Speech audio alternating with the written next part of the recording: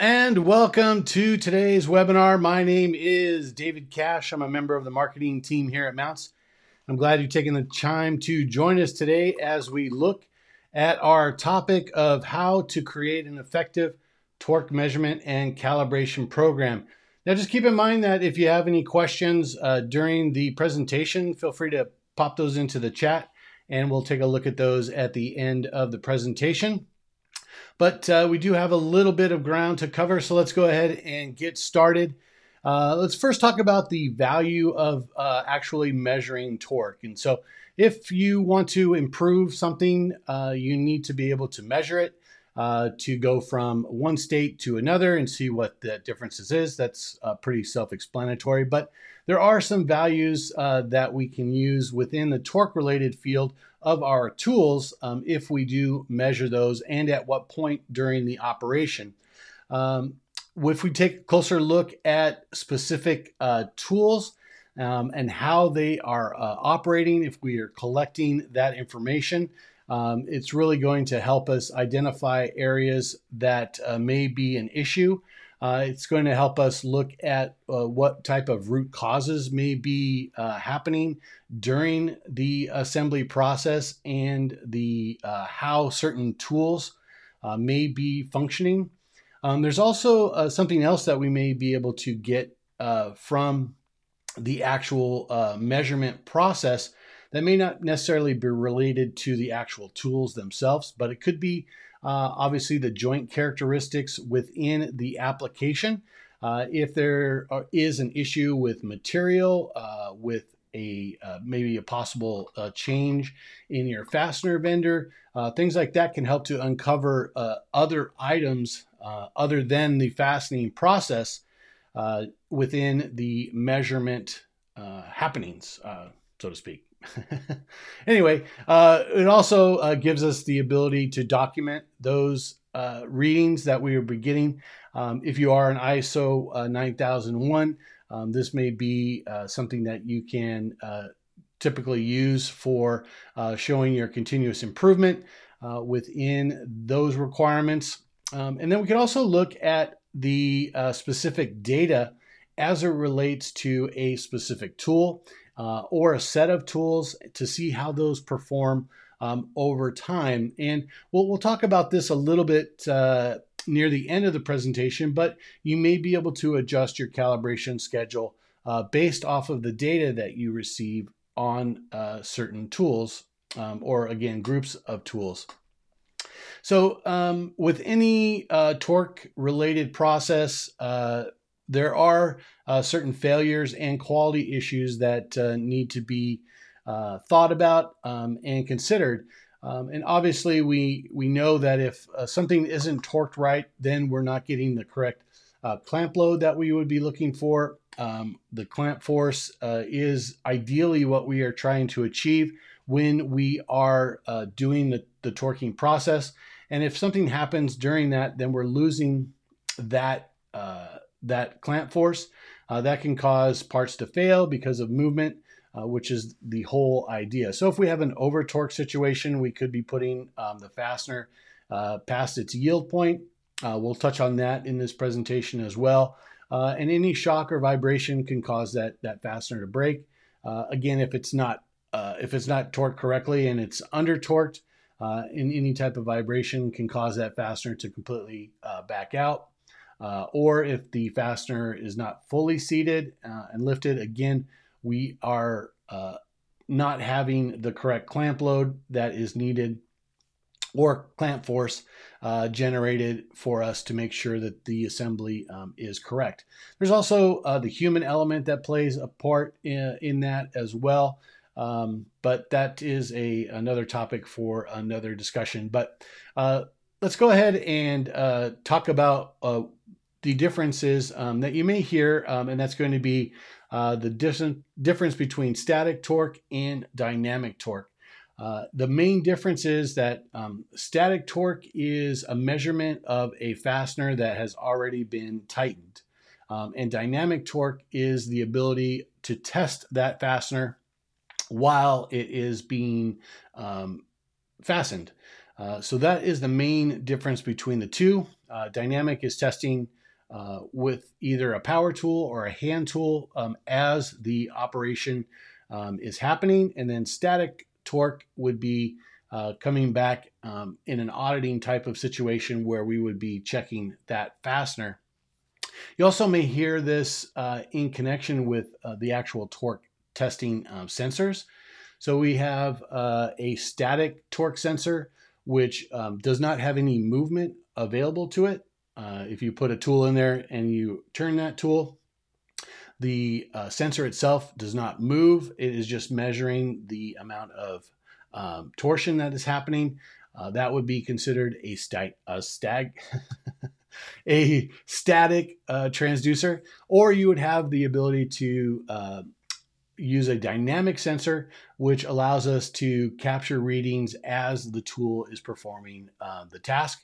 And we'll take a look at that in our demo presentation of what that looks like. And so that's going to uh, lead us right into our poll question uh, for today. Um, and that's going to be um, in your uh, measurement uh, currently. Um, are you doing uh, mostly static testing, dynamic testing, or a, a, combination of both? And so I'll give you just a few seconds to go ahead and answer that. Uh, and then we'll continue on with the presentation.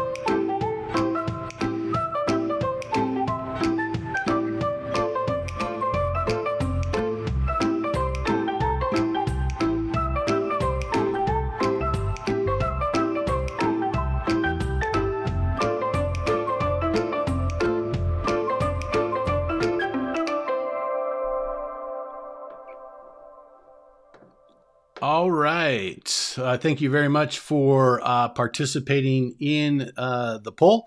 Uh, it looks like uh, more than half uh, are testing both static and dynamic, um, with static in second. So that that is good to know um, as we move through um, what understanding the different stages of measuring torque are.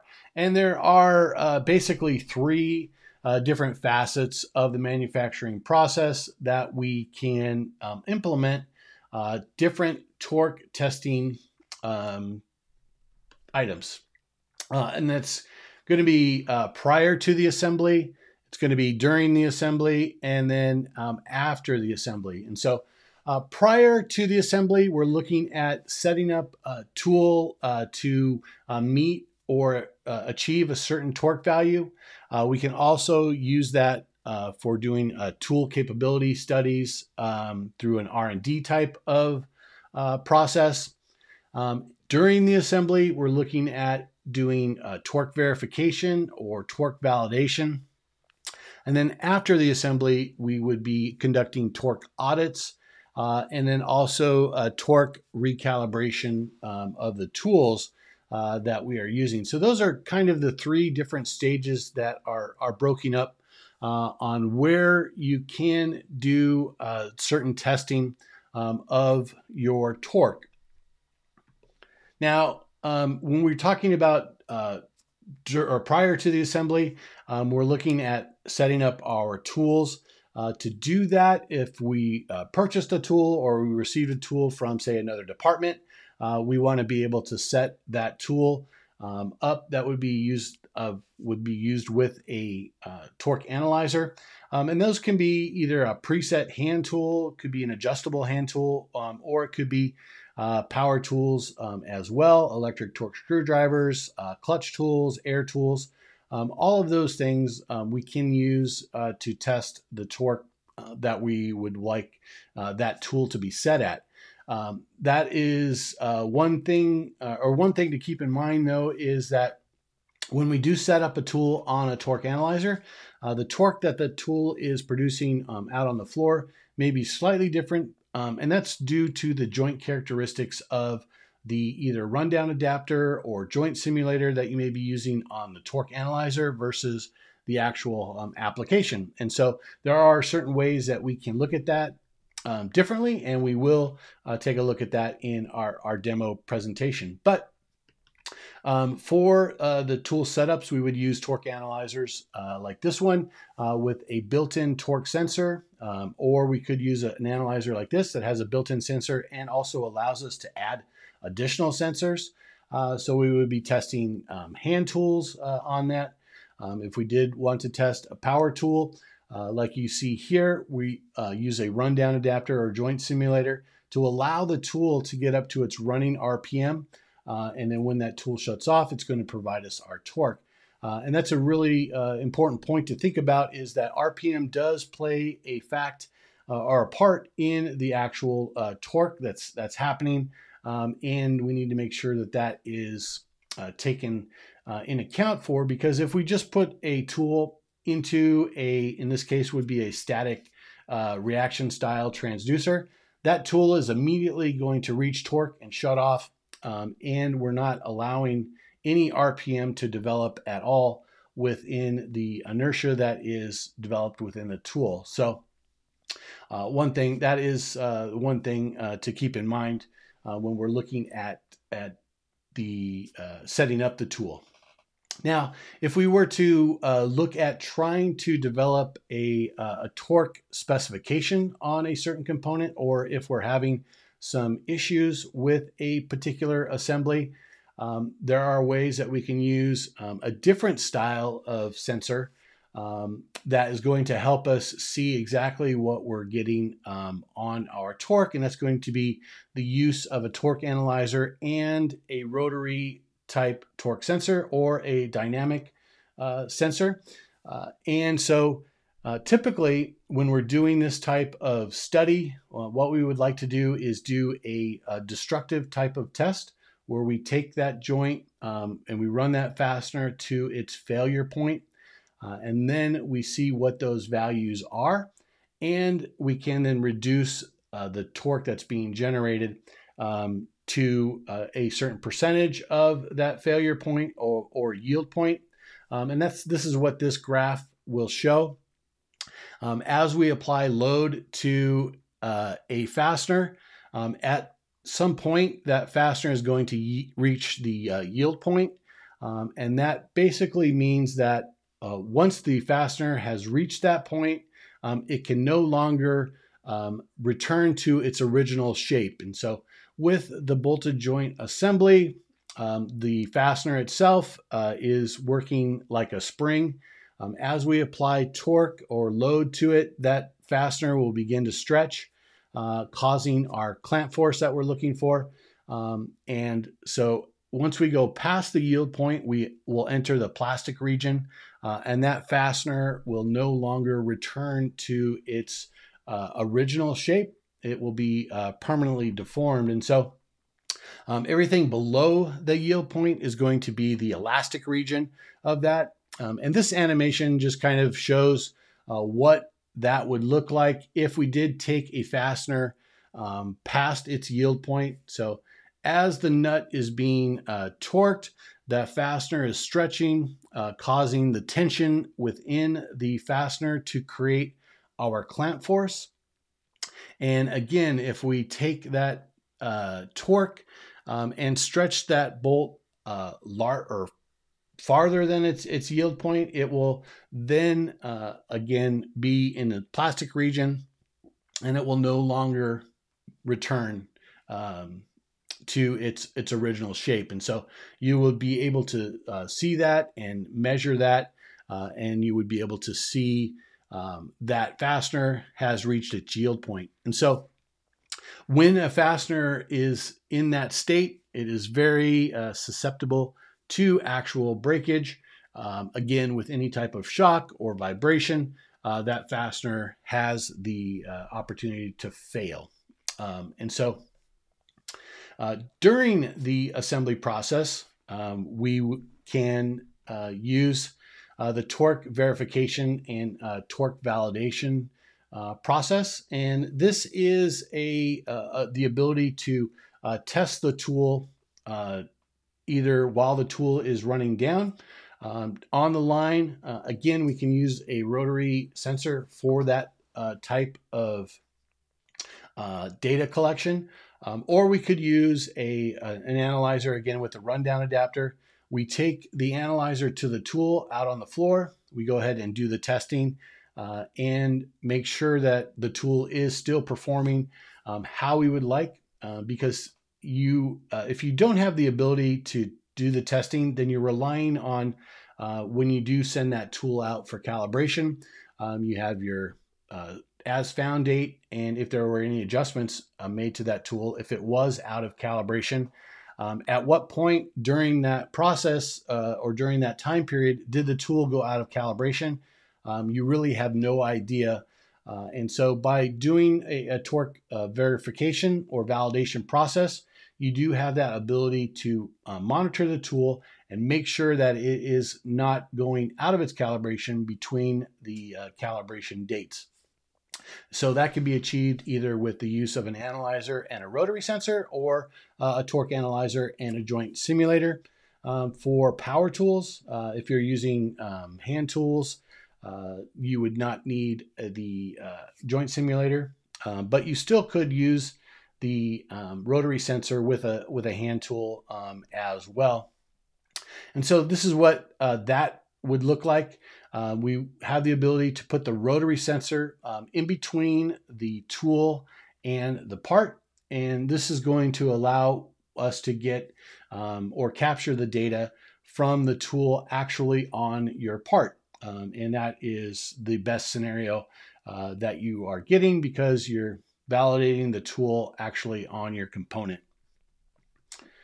So um, after the assembly um, has taken place, uh, we do have uh, the ability to do the torque auditing. Um, and there are uh, a number of different uh, kinds of tests that can happen after the assembly um, has been uh, completed. And these might all fall under uh, the category of residual torque. So you may hear that term, or someone may talk about residual torque. Um, the truth is that once we remove the tool from a fastener, there is no longer any torque uh, on that fastener. There is just the tension that's created within the fastener itself. Uh, granted, there may be a little bit of uh, torsion um, that may be, be detectable as torque, but uh, in order for us to measure torque, we actually have to uh, get the fastener moving again. Um, and there are uh, a couple different tests that we can use. Um, that would be the first movement test, uh, a loosening test, and the uh, marking test. And each one um, has um, advantages and disadvantages uh, to them. Uh, but the one thing to keep in mind is that when we're doing this type of um, auditing, um, because of the fact that there are different uh, parameters and characteristics that happen during the actual rundown um, that aren't going to be present during the auditing uh, portion. So uh, that is uh, these types of values um, need to be uh, correlations to the actual um, torque that was applied uh, at the assembly during that process. And so they aren't going to be as exact as uh, you may like them to be, but um, through uncertainty, you can certainly develop a, a correlation um, for each type of test uh, to then say, if I get this X during the torque auditing process, um, I know that during the the actual uh, rundown that we we we got the right uh, torque value. So if we take a look at, at the first movement test, um, typically this is we're just turning the fastener um, in the tightening direction and we just want to move it a few degrees of rotation. So if there are 360 degrees in a um, the circumference of a circle, then we just want to move it um, anywhere from three to five degrees and measure what that value is. Um, and this is done either with a, a rotary sensor or uh, more commonly it's done with a, a, a digital torque wrench um, that has a torque and angle uh, feature in that. Um, and you can set the digital wrench to uh, tell us what the value is at a certain degree of movement. And that's typically, again, three to five degrees. And why do we uh, use the, the three to five degrees? Um, that's because um, if we look at the, uh, the coefficient of friction, um, if trying to get something moving, um, it sometimes takes more effort, or in this case, more torque to get the fastener moving again than what we may typically see during its rotation. So uh, you may see a slight uh, rise in the torque and then it will settle down in the uh, area from three to five degrees. And so that can give you a, a better representation of uh, the, the torque than if you were to measure it um, at the peak torque, which may give you a, a much higher, uh, or not much higher, but a higher value than at degrees three or five. Um, so that is the uh, first movement test. Uh, next would be the breakaway test. And basically, this means that we just measure the value of the actual breakaway. So we're, we're taking the fastener in the loosening direction and we're just measuring what that value is uh, from the breakaway. And this value is typically uh, lower than the actual uh, torquing value. Um, and that's because uh, there is a little bit of torsion, as I mentioned, in the fastener. Uh, and that is helping us to uh, release the, uh, the fastener. Um, so the breakaway will typically have a lower value than the tightening value. And then the third test is going to be the marking test um, or um, yeah, so basically we put a, uh, a, line on the fastener, a line on the part, uh, and then we go ahead and we can then break the uh, fastener away. Uh, and then we measure the torque once we bring those two lines back together. Um, and this will give us a, a better representation of uh, the first movement test or the breakaway test. Um, again, it's not going to be um, exact because uh, of the uh, conditions that I mentioned before, whether it be RPM, lubricant, or um, other factors, but it's going to give us a good representation of where we're at um, with the fastener. And again, you can develop a correlation between this test value and the actual uh, value that uh, was uh, seen during the operation um, or during the, the, testing of that. And so that will lead us into um, our uh, demonstration uh, for today. And uh, what we're going to look at is uh, the use of being able to test our tool um, out on the line and doing that torque validation or uh, torque verification process uh, with our tool. So I have um, our PTT um, analyzer here. I'll go ahead and power that on. Uh, then we also have our uh, rotary, uh, our RTSX um, 50 uh, I here, and this measures um, between 5 to 50 inch pounds. and then we have our tool, which is set for 5 inch pounds. And this will give us that ability to um, see exactly what we're getting um, on our part um, or the, the value that the tool is producing. Um, and so we have uh, this thread block here. We'll work with these uh, six fasteners um, on the end here. Um, and so to go ahead and uh, install the uh, sensor, um, it's pretty simple. We use the same uh, disconnect uh, quick disconnect features on the quarter inch hex. So the bit goes in this end and then we attach the sensor to this end. Um, and now we can go ahead and uh, do our testing. And so let me just move this out of the way. And so um, here is our uh, analyzer. And so if we go ahead and run our fastener down, let me make sure I'm not in the way.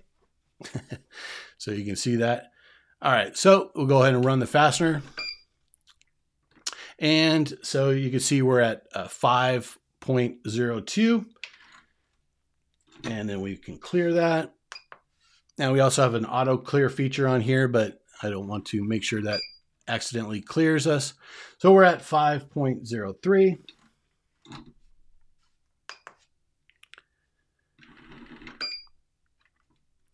Five point zero one.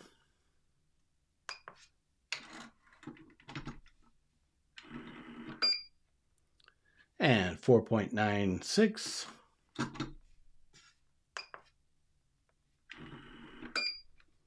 And five point zero six.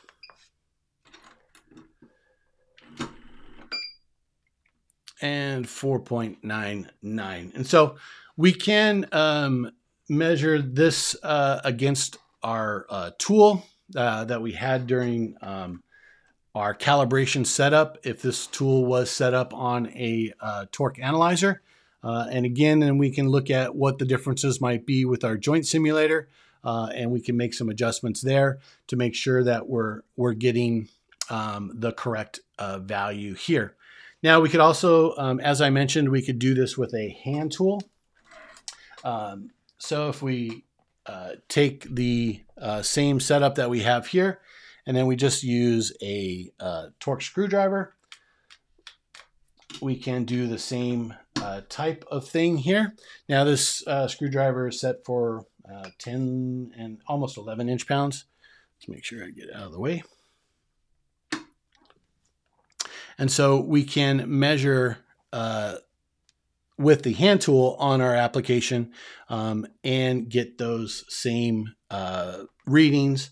Uh, again, this allows us to be able to uh, test the tool um, on the floor, uh, and we can then track how that tool performs, um, and uh, that will move us to our torque calibration um, discussion here. Now, there are a number of different ways that uh, people use uh, torque calibration. Um, it could be, uh, it is uh, merely a time-based type of uh, setting where uh, every year we send a tool out for calibration no matter um, how much it was used.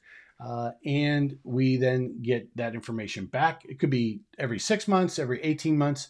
Um, no matter the usage, that tool is sent out on a, a time based um, setting.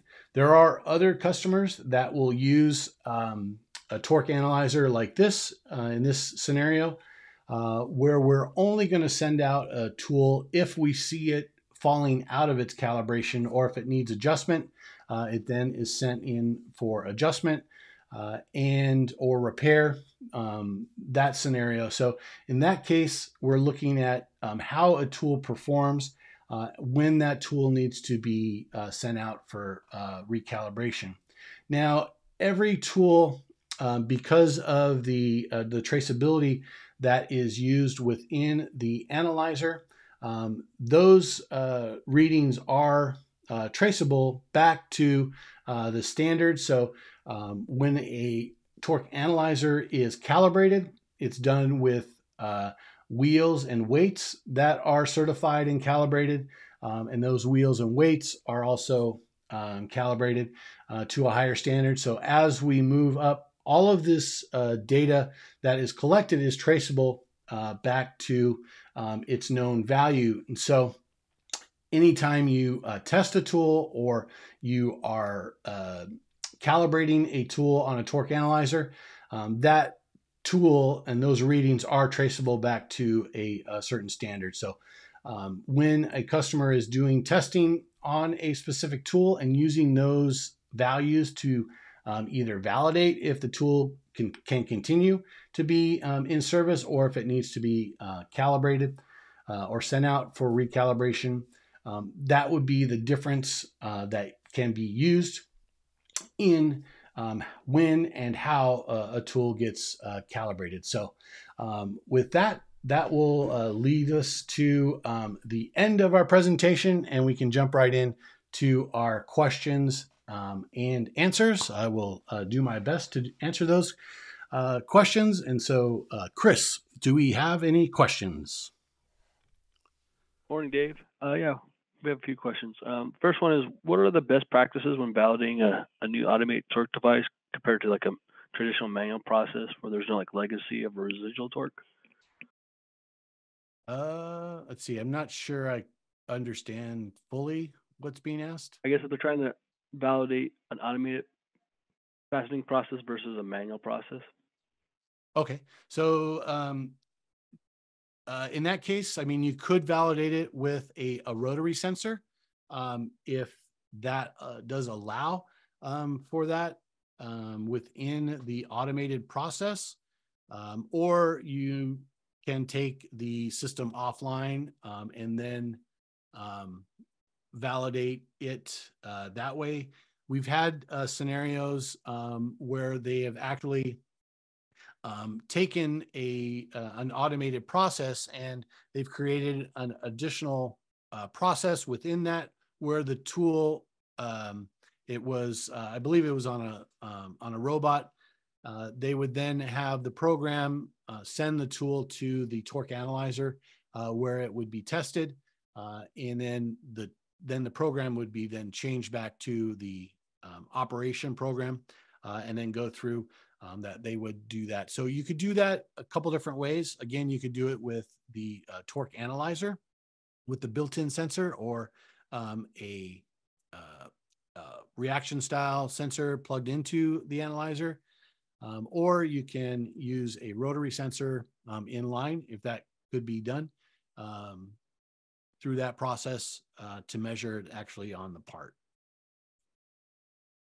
All right, Dave, thanks. Uh, next question we had is, in like a destructive fastening process where you're trying to determine the torque spec, is there like a recommendation on how many screws should be tested to help determine that torque spec? So um, the recommendation would be uh, the more the better. Um, so the more data points that you can get, um, that is certainly going to help. Um, now, depending on um, the uh, value of the part or um, how many times um, that can be done um, is really dependent on uh, how necessary that particular um, operation is.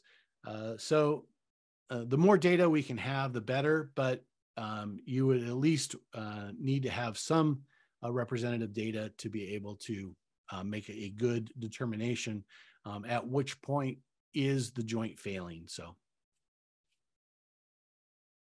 All right, Dan, thanks. Another question we had is when measuring dynamic torque, what items can influence torque while fastening the joint?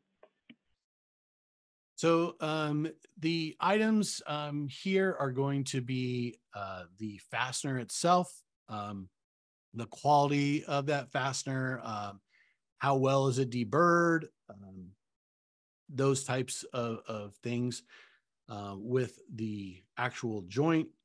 Um, RPM, uh, if we're using a power tool, um, is going to affect uh, the um, rundown.